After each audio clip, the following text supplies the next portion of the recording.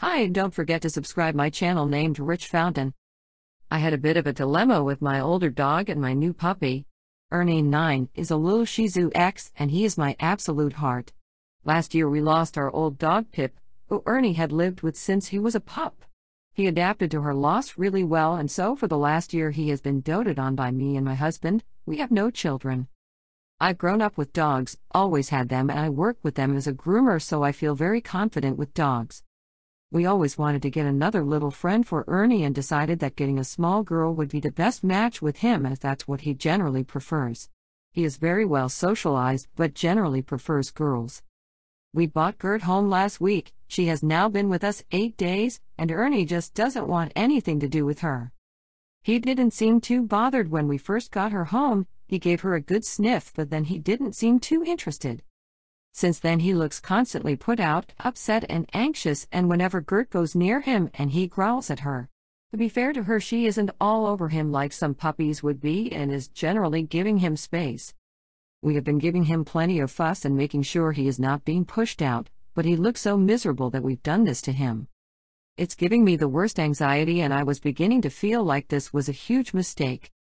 I'm not sure if the shock of remembering how hard a puppy is in the early weeks is adding to my emotions, as Gert is still in the process of potty training and isn't sleeping through the night yet. We've suddenly gone from one dog who is honestly such an easy dog to care for, and I feel like we've thrown a huge spanner into our lives. Everything I've looked at says to just give him time to adapt, praise him when he is calm around the pup, and let him correct her without intervening, which I'm doing. But has anyone had something similar with their dogs? Did they ever get along?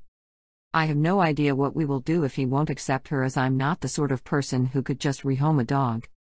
I've never had to do it before and it would kill me, but I'm really struggling seeing Ernie struggle with this. And if anyone has any advice on how we can encourage him to interact with her, it would be very welcome. Last year we lost our old dog Pip, who Ernie had lived with since he was a pup. He adapted to her loss really well, and so for the last year he has been doted on by me and my husband, also, we have no children. Many people do not give two dogs time to adequately adjust to one another before deciding that having two dogs will simply not work. It can take up to one month for an old dog and new dog to really settle in and accept each other's position in the pack. Second dog, you need to be ready to commit to this process and not panic.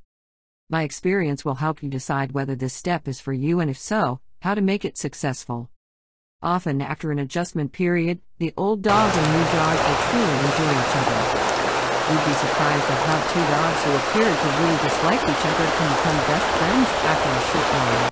Download my experience in PDF now. Visit my the link in description and get the tips on how I got my older dogs adapting to puppy.